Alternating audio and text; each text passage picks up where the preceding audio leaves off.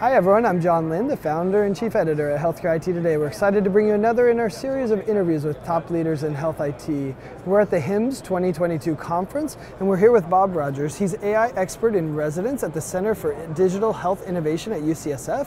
And we're with Sri Ambati, CEO and co-founder of H2O.ai. Welcome guys. It's great to be here in person, live. Yeah, hallelujah, right? Thank you for having us. Yeah, so Bob, tell us a little bit. Can you share about the partnership between H2O AI and UCSF? Yeah, so we at UCSF receive 1.4 million faxes a year. Oh, wow. And they're a huge variety of different types of document. 300,000 of them are referrals. And so, right before we started all this work, these faxes were all processed manually by people reading a fax, figuring out what to do with it, goes into a queue, someone else reads it, goes into another queue.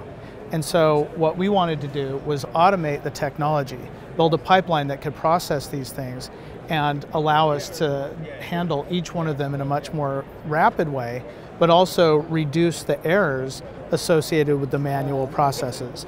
Well, we have a team of data scientists and we have many, many faxes, but what we needed was to really pull together the latest technologies, the latest tooling for managing models and AI, and, and some of the world's greatest experts. And so we turned to H2O to help us with the project. Interesting. And you guys recently announced Document.ai, which is what they used to solve this problem. Tell us a little bit more about it, Sri. Document AI is um, our foray into making sure the leading source of data today in enterprise is documents and unstructured data over the last two years of COVID. And so people are able to take documents not just specific to one point solution, but solve entity recognition from there, pull out interesting uh, elements from the, from the documents, and start feeding other kind of downstream AI engines so that they can start predicting uh, using documents as a source of data. Interesting. Yeah, and I think it's interesting. I heard, Bob, that that you actually were told that maybe it wasn't possible to do this with structured documents. Talk about that and kind of how it evolved. We had, a, uh, UCSF brought in a panel of experts to advise us. Okay. And after we explained what we were trying to do, they said, well, that can't really be done. It's impossible. And three weeks later, our first results came out showing that not only were we able to do it, but we were able to do it with excellent performance. So the, the whole the whole story there is that the ability to read from a document has to do with putting things in context. So the words have to be in context, but also the shape of the document tells you what the information means. I mean, if you've got a demographics box and a name in it, well, that's a patient name. But if there's just a, something that says name sitting over here, you've got to figure it out some other way. So the, the document AI technology really allows us to put the language in context and the shape of the document in context using the most recent sort of computer vision and natural language understanding technologies. And, um, and sure enough, our intuition was correct. H2O was able to do it, and, um, and we got really good performance. So what have been the outcomes from it? Like what efficiencies have you gained? What's been the experience for the end users who maybe used to do that job? You know, how are they reacting? Yeah, well, first of all, they love it. We're heroes in the health system. What we've done is, and this is a huge team of product managers and designers, AI people, software engineers, building a, a, a, referrals automation pipeline. So the first thing, the document comes in and we figure out what kind of document it is. If it's a referral, it goes into the referrals automation pipeline. Okay. The other documents will be going into other pipelines over time. Okay. The referrals automation pipeline then extracts a lot more information through the document AI process. And then those pieces of information are presented to the care coordinators who can look to see if it's correct, add anything that they need to add, and then it, and it moves on. The impact of all this is we're starting to be able to schedule patients much, much faster. The patients are being sent to the right place. There's no delays because you know the queues get backed up. The other thing is there's a lot less errors because humans who are doing a really good job of this kind of work are still very um, they're very variable in what how they perform. Sure. And so that variability makes it very hard to do downstream processes. And so what we've seen is patients are being scheduled more rapidly. Um, clinicians are getting more accurate information about the patients that they're seeing, which makes it a better overall experience for, for everybody. And uh, we're able to now contemplate the next steps in that automation pipeline because the data is now reliably and, and consistently encoded. Yeah. So Sri, how good have we gotten at this, right? I mean, this is an interesting example, and, and the fact that experts told them, no, it can't be done. I think the key thing is um, the several major breakthroughs that have happened in the last 18, 24 months in NLP. Okay. Like the BERT models, pre-built models. And then of course we've had unlocked treasures of wins from the ImageNet over the years, right? Mm-hmm. So combining them together was one piece of it. But typically customers or, or partners trying to build software in this, they try to not work very closely together. In our case, we co-created mm-hmm. with the help of Bob's team right, sort of, and, and UCSF, that we were able to kind of learn what they had already done, like for example in labeling. And we found out that annotation, labels, and then training, all of that needs to coexist as mm-hmm. opposed to yeah. labeling in some far off place sure. yeah. and then you, you, you almost remove the domain expert okay. from the space, right, from the problem solving. Uh-huh. And where the AI is wrong, it's interestingly wrong. So you want to go back and re-annotate, relabel, and have the AI learn from those, those feedback mm-hmm. loops.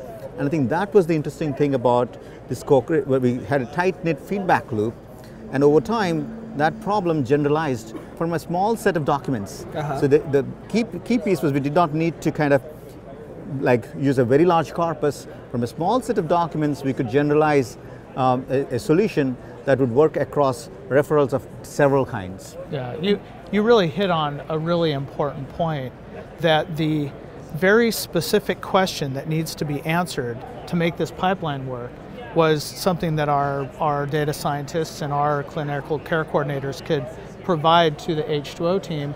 We could work together to make sure that the exact right questions were being answered. And as you said, the annotation was right.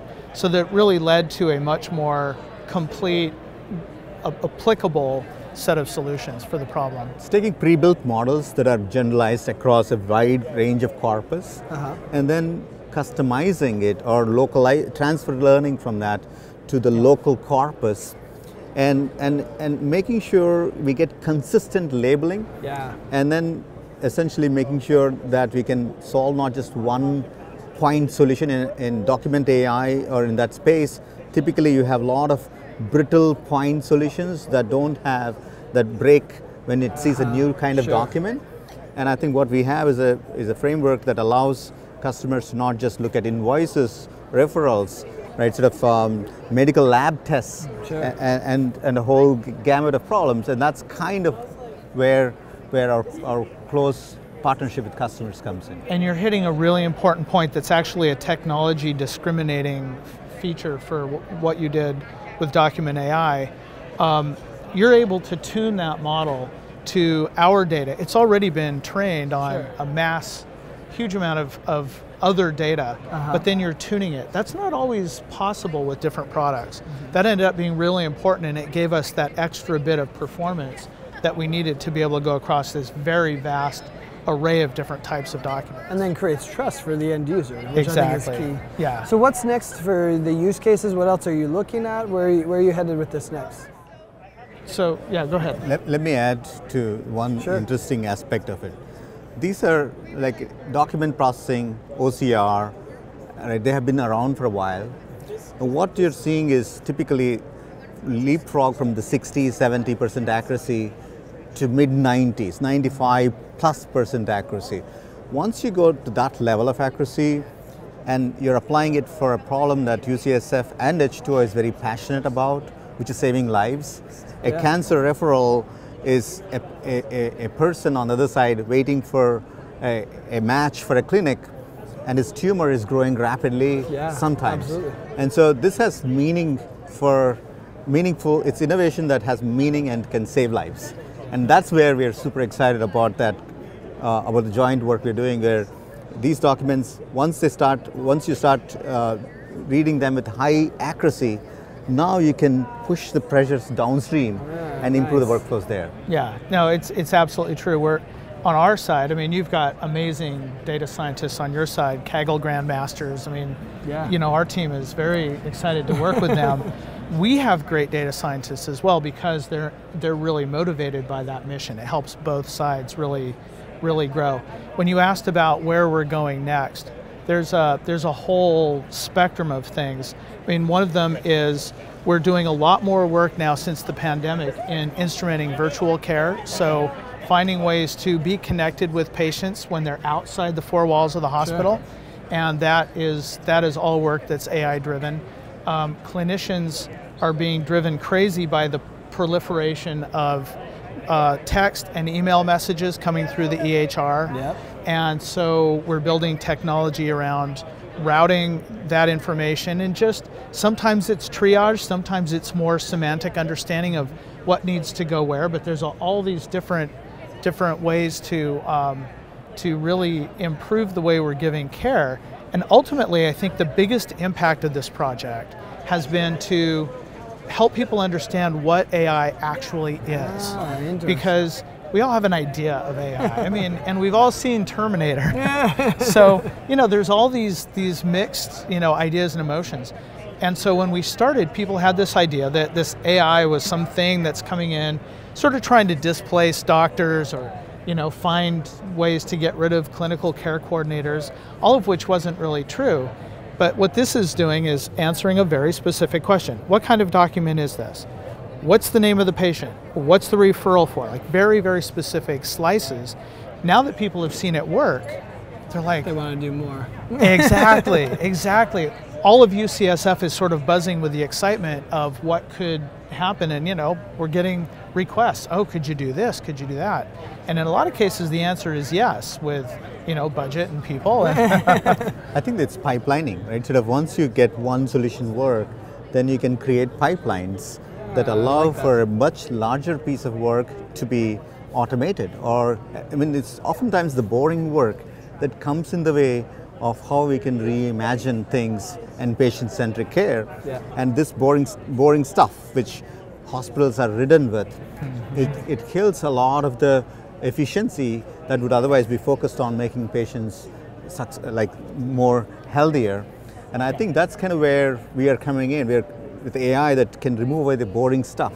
So then the doctors, the nurses, and the entire staff can focus on the important stuff Yeah. of saving. Unleashes their creativity. I, and I, I will say that the, the care coordinators who are using referrals automation love it. They're very excited about it. I mean, they're finding their lives are better. It used to be a, I think, a fairly high turnover role, and I think that's changing. That's awesome. O- over time, I think the number one um, inertia for AI is trust and safety. So by plugging it into H2O AI Cloud, we're able to continuously validate these models. Yeah, so there's, we build a model, it's good, but then you not need to continuously run benchmark tests to, so that as data drifts, you rebuild the model so it's up to date.